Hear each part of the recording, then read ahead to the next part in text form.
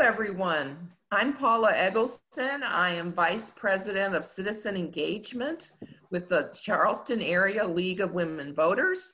And during election season, one thing that we do, among many, is to sponsor candidate forums or candidate discussions so the community can learn more about the candidates. The League of Women Voters is nonpartisan. We do not support particular candidates. We want voters to have all the information they can get about our various candidates and offices in South Carolina and particularly in the low country. Uh, one of the things I wanted to make you aware of is vote411.org, which is a place where you can go to get information about the candidates' positions. Today, we are going to be interviewing Ronnie DeCanio, and she is running for a seat um, in District 97. Her opponent uh, did not want to participate in a candidate forum, and we wanted to provide Ms. DeCanio the opportunity to state her positions on various topics um, in a different format. So this is an interview format. And the first question, or actually it's not a question, the first thing that I'd like for Ms. DeCanio to do is to state, to provide an opening statement. And she has 60 seconds to do that. Well, good morning happy to be doing this. And, and everyone can find my information on just Google Ronnie for State House. So you'll get to the website and all the information you need about me. But I did, I did want to say something about why I think I'm qualified for this House seat. I've lived in many places, even overseas, and I have worked in many different jobs. I have volunteered in many different ways. And that provided me with a very different perspective. So, what I want you to know is everybody I've ever talked to, we all want the same things.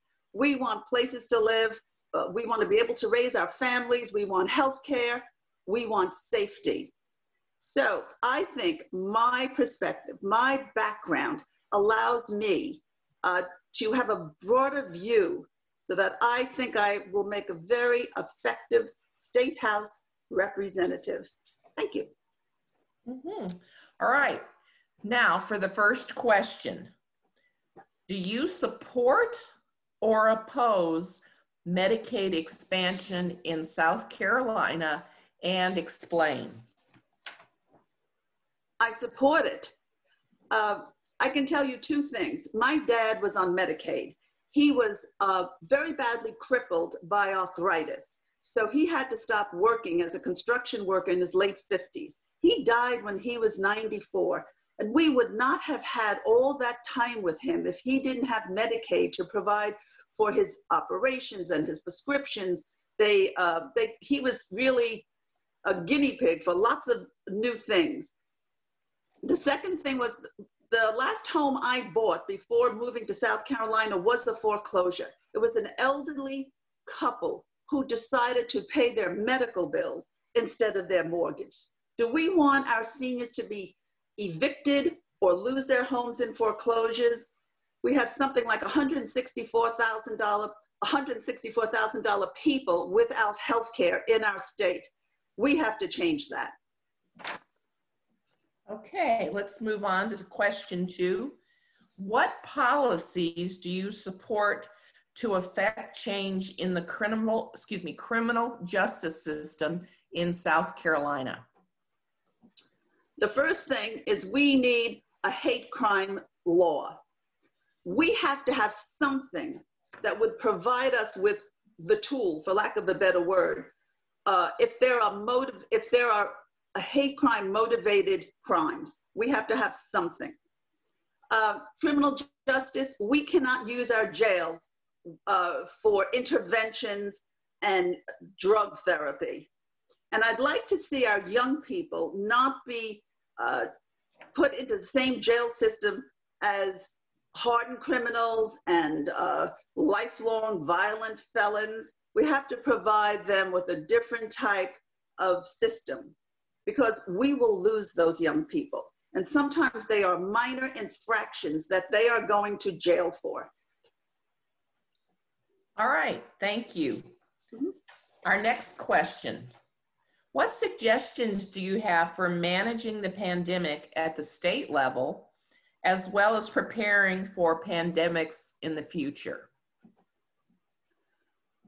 Well, the first thing, let's stop looking to the federal government for help because that didn't work so well, did it, with this pandemic?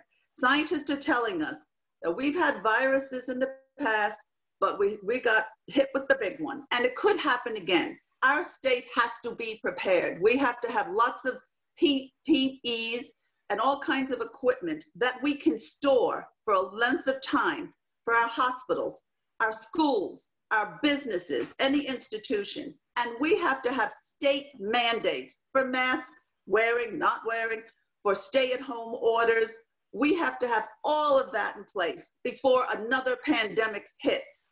Because if without a plan, there is no plan. And, and every town and city cannot make their own plans during something like a worldwide pandemic. All right, thank you. Question four. Comment on the current gun laws in South Carolina. Well, a couple of things. Number one, I believe we should ban assault rifles. Not a popular stand here, but that's how I feel. I don't see any purpose. We're not skeet shooting with them, we're not hunting with them.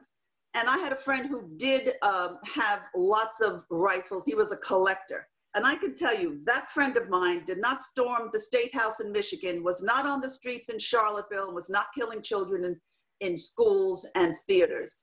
Secondly, I would like to see the red flag law expanded to include boyfriends and significant others. It's not only family members that kill people. So we need to expand that to protect women who are killed by significant others, boyfriends, neighbors.